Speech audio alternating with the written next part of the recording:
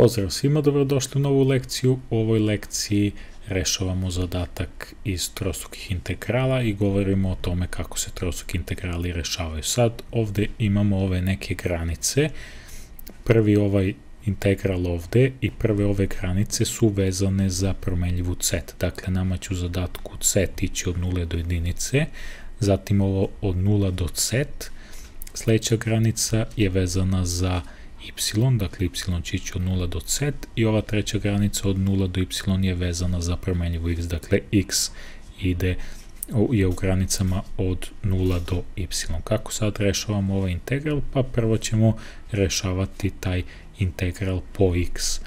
Dakle, prepisujemo ovo prvo integral od 0 do 1, integral od 0 do z i sad ovo rešavamo. I sad s obzirom da ćemo rešavati po x, sve ono što nije x ćemo smatrati konstantom. Dakle, mi ovde vidimo x, y na kvadrat, z na treći, to je bukvalno kao da vidimo ovde umesto svega ovoga neki broj. Dakle, to samo prepisujem. I tražimo integral od x-a. Čemu je jednak integral od x dx? Integral od x dx je po formuli jednak, pošto je to x, x na prvi, je jednak x na 1 plus 1 kroz 1 plus 1 po onoj standardnoj formuli i plus neka konstanta c, ali mi ovde nećemo reti sa konstantama pošto su integrali određeni, dakle to će biti jednako x na kvadrat polovina.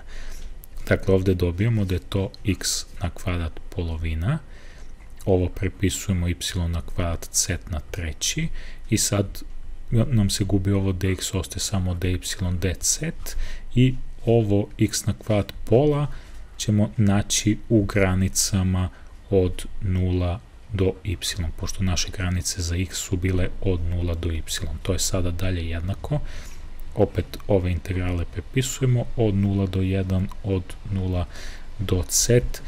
Sad ovde zamenjujemo Newton-Leibnicom formulom prvu gornju granicu, znači umesto x-a pišemo y, pa će to biti y na kvadrat pola, minus, pa zamenjujemo donju granicu, donja granica je 0. Znači to će biti 0 na kvadrat pola, a ovo y na kvadrat z na treći prepisujemo, dy dz.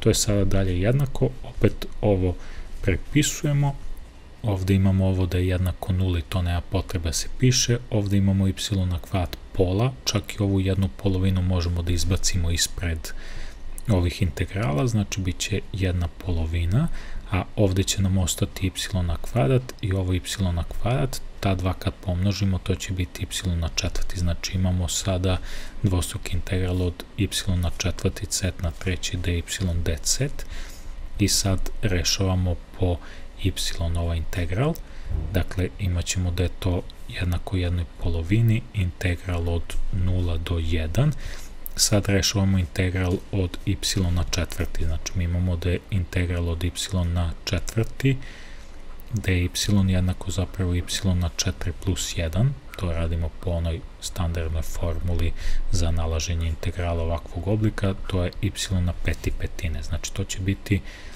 y na peti petine.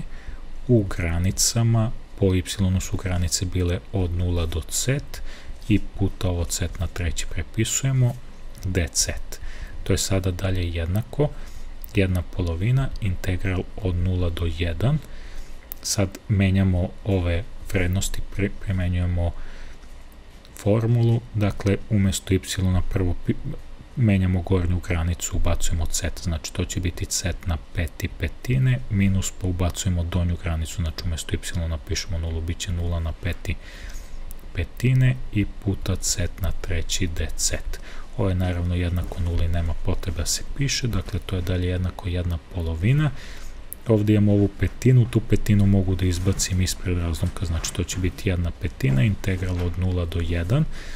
O, ovo, znači, nemamo, imamo c na peti puta c na treći, to će biti c na osmi dz, to je dalje jednako jedna desetina, Sad ovde menjamo ovaj integral, integral od c na 8 će biti c na 8 plus 1 kroz 8 plus 1 i to sve u granicama od 0 do 1, odnosno to će dalje biti jedna desetina puta c na 9 kroz 9 u granicama od 0 do 1 pa sad menjamo prvo gornju granicu, pa onda donju, znači imat ćemo jedna desetina puta, znači menjamo gornju granicu umesto c pišemo jedinicu, bit će 1 na 9 devetine, minus menjamo donju granicu, to je 0, bit će 0 na 9 devetine, naravno ovo ovde je jednako nuli, znači to će biti jednako jedna desetina puta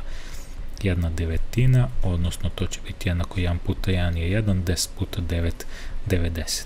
I time smo rešili ovaj trosuk integral. To je to što se tiče ove lekcije, vidimo se u narednoj lekciji, pozdrav i sve najbolje.